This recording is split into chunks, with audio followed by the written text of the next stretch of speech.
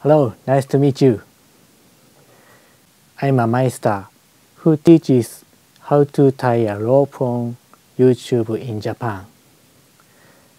My main channel explains rope work in Japanese. Currently, the number of subscribers exceed 100,000 and it is viewed by many Japanese people. This channel will be explained in English.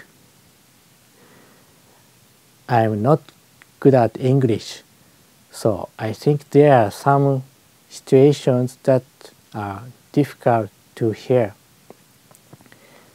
I would like everyone in English speaking to know about attractive rope work.